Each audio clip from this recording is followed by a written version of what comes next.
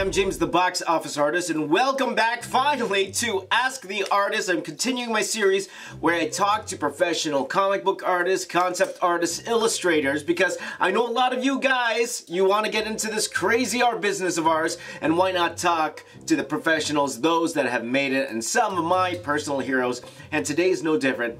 Today we are going to talk to the incomparable, you know him on the internet as Artgerm. His real name is Stanley Lau and he's a fantastic guy. We had a chance to talk to him at Fan Expo Canada last year and it's a, a shorter interview but we had a lot of fun with it as well. Big thank you to my friend Jonathan Encarnacion who actually conducted this interview. So this is a fun interview so if you are a fan of Artgerm, fan of his awesome DC uh, comic work and all of his illustration, this is for you.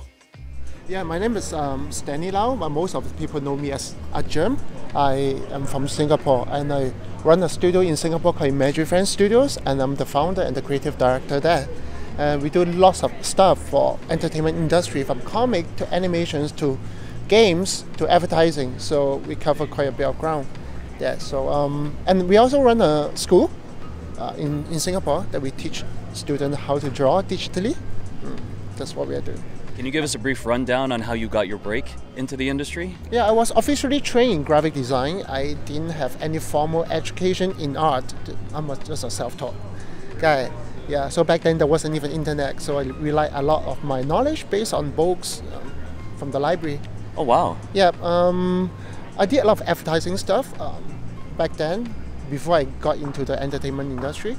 Uh, I think my first break was when I started doing uh, DC comic covers especially the Batgirl ones. Hmm. How did you go about with your with your portfolio and seeking out jobs for?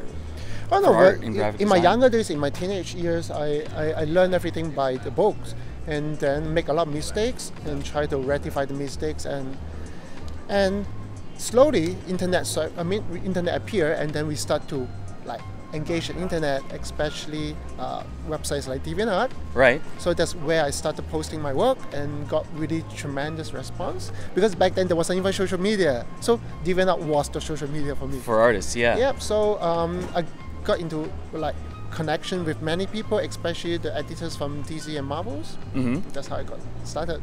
At what point did you start thinking, you know what, some of my personal work could end up being the thing that I do almost primarily? Honestly speaking, I don't have a very, very uh, planned out like my, my life goals and, and what I'm supposed to achieve or objective in life. Basically, I just love to draw.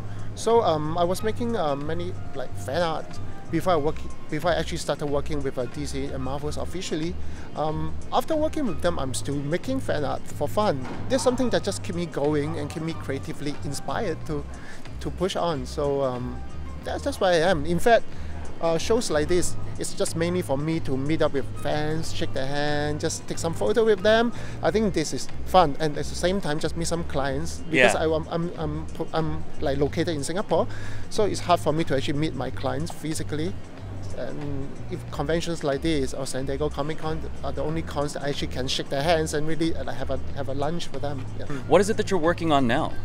Uh, I'm still working on a lot of comic covers uh-huh. um, for Marvel and, and DC. Are I'm there running, any ones coming up in particular? I'm running a regular cover gig with uh, DC for Supergirl. Okay. Yeah, so you can see lots of cover coming up uh, for Supergirl. I love the character. I mean, because of the TV show. Yeah. Uh, so I, I, I requested DC to, to let me draw uh, Supergirl, they say, okay, well, let's do it. So that's what I'm doing now. And on top of that, I do a lot of statue designs with sideshow collectibles. Uh-huh. And there'll be a lot of statue coming up next year. That's awesome. Mm. Um, do you have any advice for any artists that are still up and coming and maybe trying to work on their craft? Yeah, I think at the end of the day, um, you have to take care of two sides of the of the of the career. First is the product, which is your art, and second is to make sure that your work is being seen by people. So you have to manage your social media, your online presence, and make sure that you invest your time early to build your own fan base and let people follow you.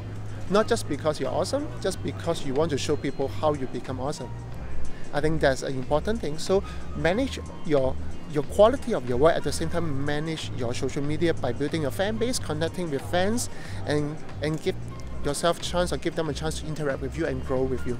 And there you go. That is the interview with Stanley Lau. Once again, thank you to my friend Jonathan Encarnacion uh, for doing this interview for us. Now, uh, we actually went in deep into what uh, he said during this interview on the Box Office Artist podcast. Yes, that is back as well. We took a little bit of a break, but that should be back weekly. And in fact, you can listen to that episode right now. Go check out the Box Office Artist podcast, where myself and Jonathan we sat down for an hour hour. Uh, that was my first time listening to this particular interview, and then you hear us go off go off and talk about Artgerm, Stanley Lau, about his work, how they how his work influenced us, as well as our thoughts about using social media today as an artist. So that is a great um, podcast. Go check that out right now, the Box Office Artist Podcast. But in the meantime, please follow my man Stanley Lau. Hopefully he'll return to YouTube one of these days. But follow him and all of his amazing work. Go check out his school too. Some amazing stuff